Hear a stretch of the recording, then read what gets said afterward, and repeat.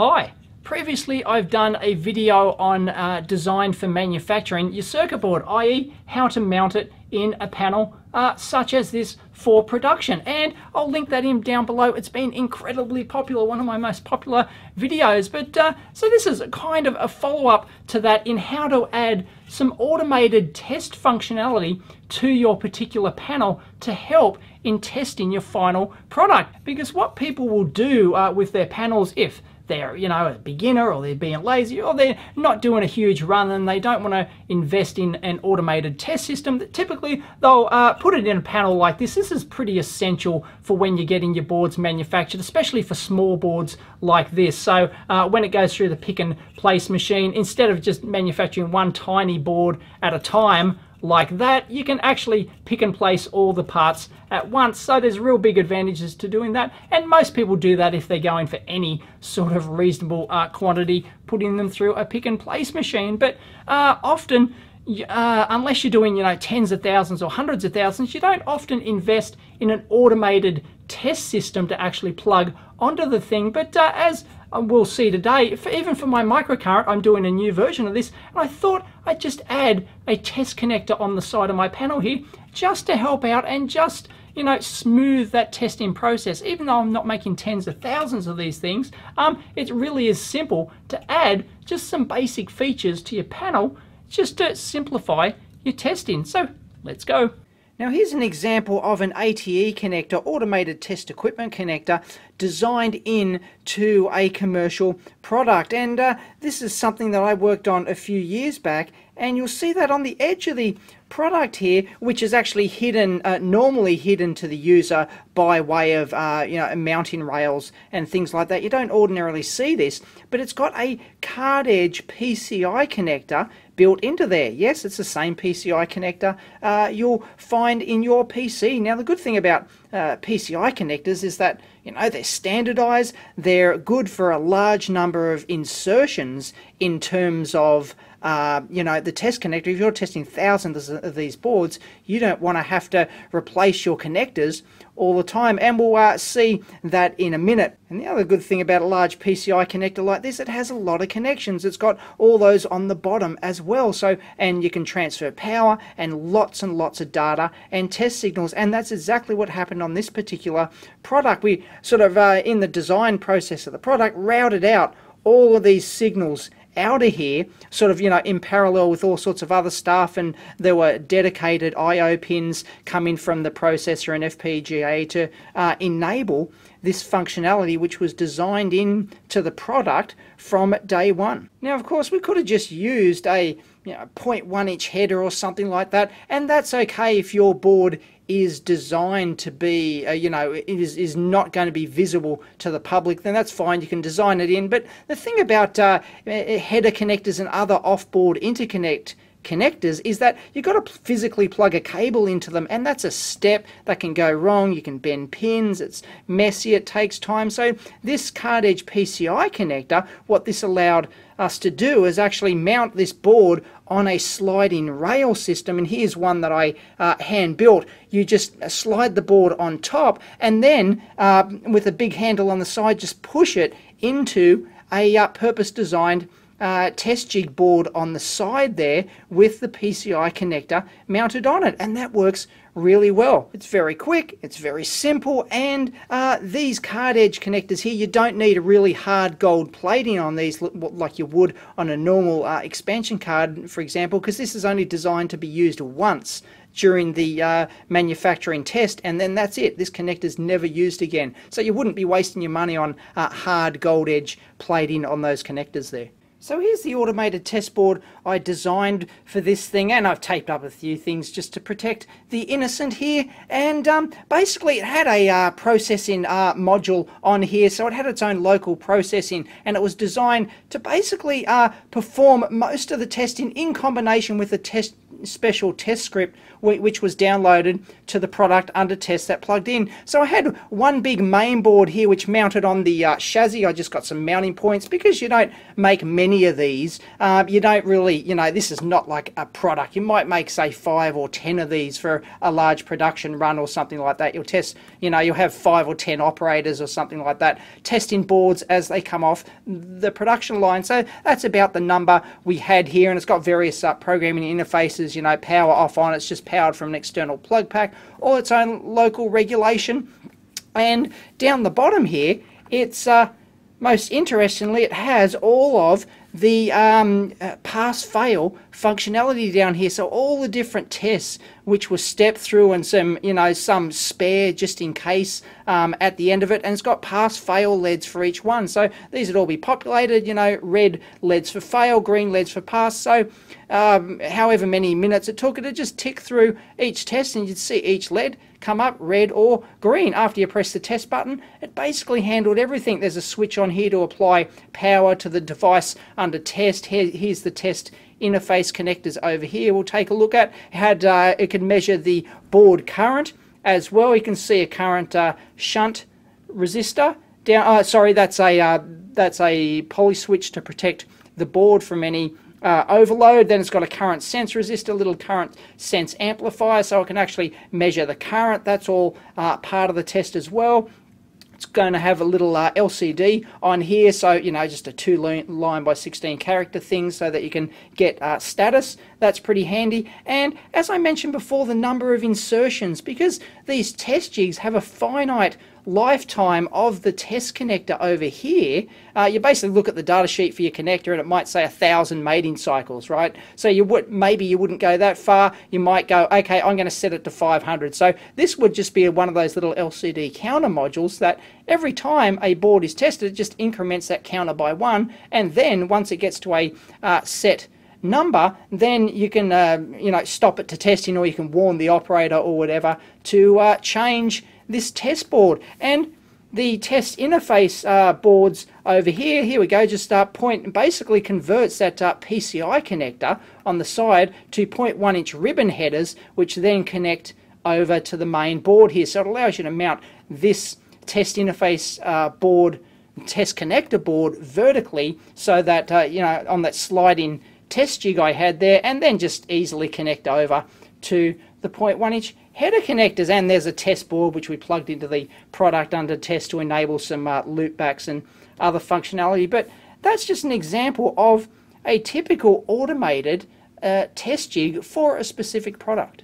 And if you're serious about uh, production of any product, then an automated uh, test system like this is absolutely vital to ensure that, you know, speedy and quick testing of your product under test, especially, you know, you're trying to build a low cost product, for example. You don't want to manufacture your product for a hundred bucks and then it costs you a hundred dollars in time to test the thing. Um, you know, even at cheap uh, labor rates, if there's a lot of testing that needs to be done for the thing, then, or you know, even 10 bucks worth of testing, you want to minimize that time time. So if you design uh, testing into your product to begin with or into your production panel, then that can really help a lot. In this case, it wasn't a production panel, it was the finished board. So with my previous uCurrent design, I've done videos which I link in down below of me actually uh, testing this thing and it was quite time consuming because yeah I produced it on a panel like this which is efficient for manufacturing of course uh, 5 by 2 10 boards total. You know I'm lowering my costs there but in terms of testing these things had to be individually broken out of here and then tested at the individual board level after inserting the battery on the back for each one for example and then you've got to operate it. Then you've got to plug all the leads in and out. In this case I've only got a small number of connections two at the top two at the bottom here but even that would be a pain in the ass to plug leads in those four leads and you've got to do it for each unit. So that's why I've shown this in a previous video where I designed this little uh, test jig where I could just take my finished board and just plug it on top like that, hold it down, and then uh, run the test, and that was it. It was, you know, reasonably efficient, but uh, still I had to go through and manually flick the switches on each one, and it didn't allow me to, uh, you know, test uh, some things because it was powered from the battery under test and things like that. So it was okay. That really reduced my production time, but uh, considering I'm doing a new version of this board, I would like to design a bit of functionality into this panel so that I can possibly test all 10 at once while they're in the panel and without having to plug the power into each particular one. Because you may like there's nothing worse than if you're not shipping this product because it contains the lithium battery, then nothing worse than having to insert the battery, do the test, and then remove the battery again before you ship the product. What a pain in the ass. Uh, you're just wasting time and money. So what I'm going to do is uh, integrate some functionality into this panel so, and into my individual bare board so that I can do uh, you know, not quite test 10 at once. It's not going to be that automated. I'm not going to go to town on this thing for various reasons, but just allow me to speed up the production a little bit more over this dinky test jig I've got here. So remember, when you get a panel manufactured like this, a panel is just part of the uh, PCB. So you can put traces, you can even put circuitry, connectors, and all sorts of stuff on here outside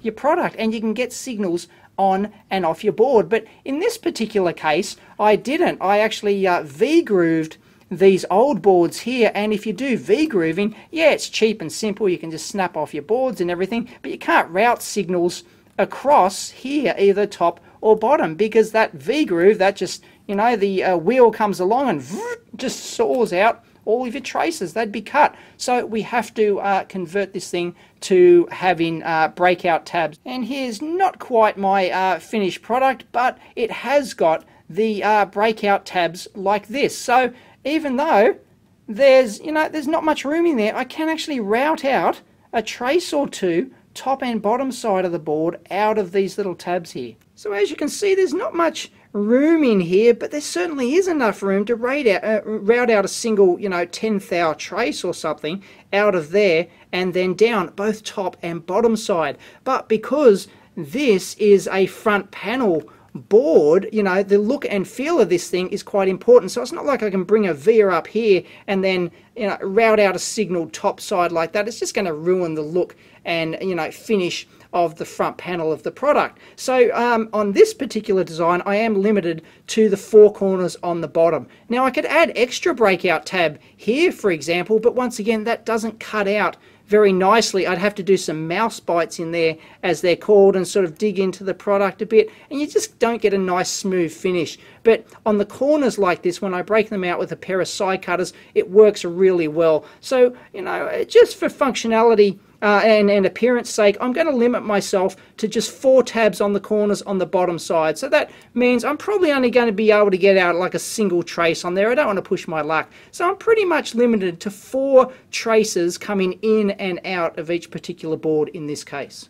Now one thing you have to be careful of is that these routing paths here aren't exactly uh, precise. So, well, you can actually define them as precise, but typically the manufacturer will use whatever routing bit, uh, you know, it might be 2.4 millimeter standard routing size. In my case, I do know that. So I have route, so I have specified this channel as 2.4 millimeters wide. So I, I'm pretty confident how much space I have in there for a trace. And really, you know, it shouldn't eat it, but just be aware that there is uh, quite some manufacturing tolerance in there. It may not be exactly as you specify unless you really handhold your uh, bareboard manufacturer to get it uh, right. You know, if you start pushing two and three traces down there, you know, five thou or something like that traces, you can be in trouble. Just be aware of that. Last thing you want is for the routing tool to come along here and just, you know, that trace being right on the edge and just tear it off or uh, drill all the way through it. And if you are going to be a rebel and put like uh, several traces through here, generally you'd only put one trace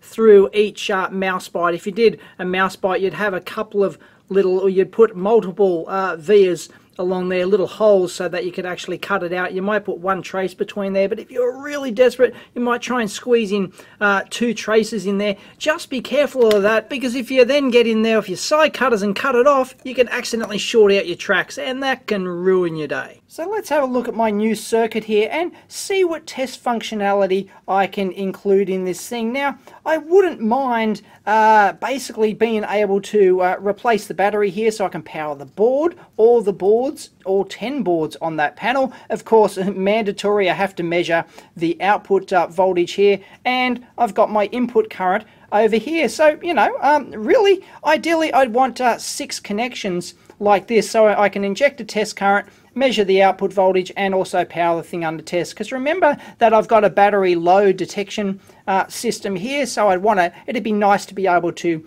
uh, test that for example. So, you know, feeding like uh, 3 volts and make sure the LED lights mm, drop it down to 2.65 volts under the 2.7 volt limit and ensure that the LED goes out, things like that. So, uh, really, I need six connections, but as I said, I've only got four there, so I'm a bit limited into what I can do. Now, of course, uh, it my first thought was, of course, uh, well, I can hook the current in series of all the boards, so I can feed in one uh, constant current source and then loop through series like this all of the 10 boards on the particular panel. But unfortunately, because of the common output ground here, you can't I can't just do that. This is not a floating cu current input. So unfortunately, that plan, unless I want to uh, my uh, test board to be able, that plugs into this panel, uh, to be able to uh, switch current into each board separately. So that's, you know, that's a bit messy. So um, I, especially at the low currents, we're talking about switching the low currents and things like that. And, you know, I would, I would do that. I would have be testing all six things like this and have a nice current uh, switching system if I was manufacturing tens of thousands of these things and you know I wanted to do it properly. But really this is just like a quick and dirty uh, thing to you know I may only be manufacturing hundreds or a couple of thousand of these things. So I don't want to go to town on this and gild the lily. So what I'll do is I'll just uh, tap the output voltage of course that's mandatory and I'll power the board. So there you go, I've got my four connections, positive, negative, power the board. So the one voltage will go in parallel to all 10 boards and then the output voltage, of course, the common's all the same, but then I need to tap out the uh, 10, 10 boards on the panel, so 10 individual output voltages here. And then I can just run around and plug in. So when I've plugged my test connector into this panel, I just run around and then plug uh, the test current into each one. Yeah, it's a manual work with a cable, but hey, you know, it's good enough. It's still going to save a lot of time over this clunky thing. So that will be the plan. I'll have a test connector on the side of the board here and I'll route out the output voltage signals through the tabs up here and all the way around the outside of my panel back to this one, you know, large 15 or 20 pin test connector over here. And then uh, that'll feed allow me to feed in the voltage, power up all these boards without having to plug the batteries on the back. I can test the uh, low battery voltage here. And I can also then just go around with the cable and go boop boop boop boop. Like it literally will be that quick. Just touch it on like that and I'll have some red green LEDs uh, on my board just like I did over here on this board here. I'll just have a whole bunch of like 10 red green LEDs which will just uh, pass fail the current into the board like this. Easy. So I've just done a quick DaveCAD doodle here of uh, what my test board will be. It'll have like a 14 way test connector here. I need 13 connections, so just make it 14 or 15 way, just a 0.1 inch uh, header, for example. Then it's got uh, ground, reference ground, and those 10 output voltages from the 10 individual boards. And then they just go into a uh, window detector here, which then uh, lights up a, you know, a red green uh, light based on a reference voltage for a particular known uh, test current. You know, you might generate, you know, uh, one for a nominal like one volt output or something. So that might be a one volt uh, reference voltage. Of course, it's going to be a plus minus because it's a window detector. So there'd be the intolerance in there of, you know, uh, 0.05 percent or something like that. I would uh, set it to whatever tolerance I require for testing. So this would be a you know a real expensive voltage reference, real expensive precision resistors on here. But because you only have to make one of these boards, you know, not a big deal. And then that reference voltage can also uh, be used to generate a constant current source as well. So I probably don't even need to use an external, uh, my Keithley constant current sources anymore. I can sort of build this in and calibrate this thing and you could have trim pots on this board and you could you know test it and trim it uh, perfectly because I only need one board it's not too hard and then I can generate the test currents these go off to uh, banana jacks and then as I said I can just you know walk around bang bang bang bang and then the uh, LEDs light up on the 10 channels. I can have a selectable 3 volt and 2.6 volt voltage source to detect my uh, low battery there. And that's pretty much all there is to it, although I might also want uh, in here, for example, I might want to add in a little up, a little current sense um, uh, shunt and you know then I can measure the test current as I switch on the individual board. So I can go around you know switch one board on and it'd be one known current. For example I can even have like a panel meter on the board as I did for that other uh, ATE board I showed. You know switch it on you're going to get you know one milliamp current draw plus minus something. You'll get you know switch the next one on in parallel or uh, switch that one back off and you can measure the total current to make sure there's no overloads on there. I don't know if I'll do that. It's not, you know, really a big deal because if you get your output voltages, pretty much there's going to be uh, no overload conditions with such a simple circuit like this. But there you go, very easy test board. You just build one of those and bingo, you can uh, install, you can either do it in-house, which I may do for some, or then I might give this uh, test board, once I manufacture it, to the subcontract assembler, then get them to test the boards as soon as they come off the, the production line, and then you do some test documentation to go along with this to just explain step by step clearly to the operators uh, how to test these boards and what to look for. But as I said, if I was really going to town and doing this professionally for, you know, tens of thousands or hundreds of thousands of boards, I'd, you know, I'd automate this. I'd ensure that I could feed the test current into the test connector and I'd have automated switching on here. I'd have a microcontroller and a test button which sort of ran through an automated sequence of tests and then just gave one big uh, pass-fail on there.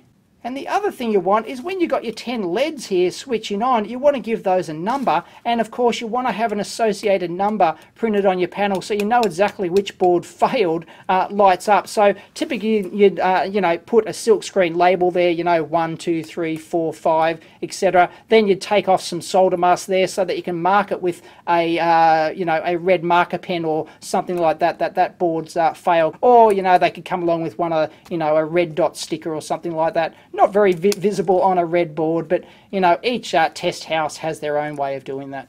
And on a fully automated jig, of course, you would uh, probably break out the uh, connectors as well like this so that you could automate those because there's nothing worse than having to go along and manually flicking switches for various ranges and, and testing like that. So if you're really serious, you'd probably route out all those so that you could automate it with uh, relays or uh, solid state switches or uh, something like that.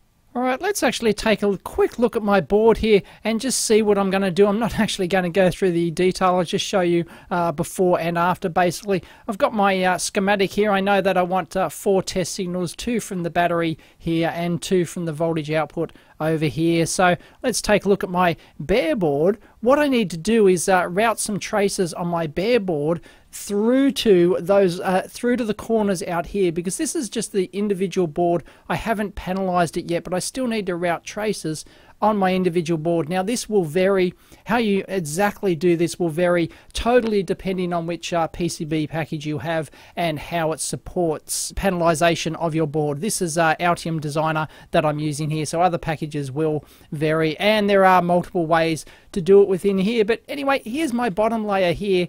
Here's my battery.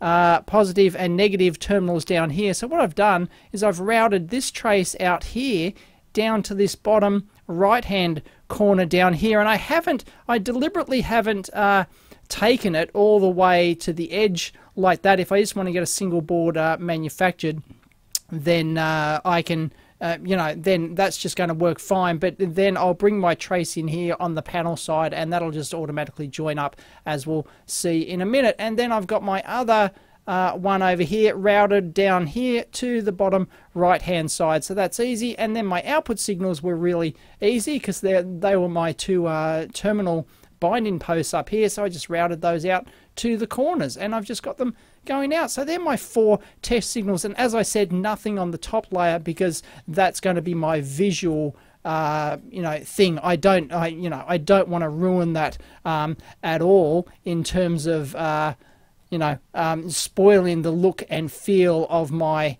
um, front panel board. So it'll just be on the bottom there. So anyway, if we go over to our panel, let's take a look here. Now here is my panel board and oh, it's flipped. Sorry about that. I'll just flip it back. And this is how I've done it, 5 by 2 I could have made a larger panel, but hey, 10's a nice round number. Nice little compact board. It's going to uh, fit with any manufacturer. And basically, um, I've done a video on this uh, before, so I won't go into the details, but I've just specified my routing path here basically. And uh, that's a 2.4 millimeter route and then I've just stopped short there and I just put a manual note on there to let the board manufacturer know that uh, they are to route out that. And to them it's pretty obvious what to actually do. I don't have to give any additional notes. They just you know are so used to these sort of things. It's really obvious. And uh, of course, this actually panelizes this thing for me. It's a panelization routine inside here. So it just duplicates my single board uh, 10 times. But if you've got a package that doesn't support that then you would have to manually cut and place. But anyway um so that is my board without any test functionality at all. Of course I've got my fiducials down here and my tooling holes as well. They're important as I've mentioned in previous videos. But now here's one I've prepared earlier, this has my test connector on the side here. So what I've done is I've just got a, a 15 way or 14 way uh, 0.1 inch right angle pin header here which they'll uh, solder on at the assembly stage. It doesn't you know cost a huge amount just to hand solder that that connector on. And I've basically got traces running out the tops and bottom corners of these boards to line up with the other traces so let's go to the bottom layer here I just switch that on and I've got the trace just coming through the little breakout tab there and just going in here. So when I generate the Gerbers, it'll automatically join up with the existing trace in here. So I've just got that a, separate trace going to the output, the positive output connector of each board like that. And then the negative one, I've just got that uh, going to the uh, top layer and that's just a common trace on the top layer there. So that yeah there we go. And on the top of course I've numbered them as well. Five four three two one. I've removed some solder mask there just so that uh, you could uh, write uh, something there easily with a marker. And I've done that for all of these boards. And I've brought all those signals back to the test connector. The battery here these two pins here are just going parallel to uh, here we go down to the bottom corner. I've done exactly the same thing down here as I did before. I just have the trace going through there and the uh, positive or negative, I think it is, trace going through the other side. And that's it. That's how I've um, added some production functionality to my otherwise uh, wasted panel because usually a panel all it's there for is just a physical mounting frame with just some uh, you know tooling holes just to hold the board in place inside the pick and place machine and the fiducials visual alignment fiducials to uh, line up the uh, pick and place head and that's all it is. But we have actually added some stuff and if I wanted to I could add active circuitry onto this panel no problems at all. And now I haven't gone to the effort to produce a separate schematic for this panel but if you're really doing it seriously and you want to design rule check so I can't design rule check this uh, panel board because it's so simple. I don't really have to. The risk of uh, me goofing something up is quite low although Murphy's law you know how it goes. But anyway if you want to design rule check that you typically have a schematic associated that and there's various ways to do that. So you would have individual board schematics and then a panel level uh, schematic as well if you're really going to town on this thing. But that's all there is to it. So my test board will just mate with a female um, header over on this side and bang, plugs in the side and now I can power all those boards at once and also access the output test signals.